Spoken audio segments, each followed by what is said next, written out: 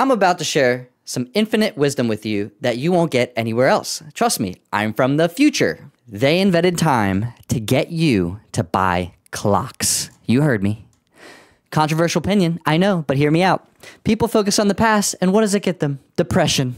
People focus on the future, what does it get them? Existential dread. You know the feeling.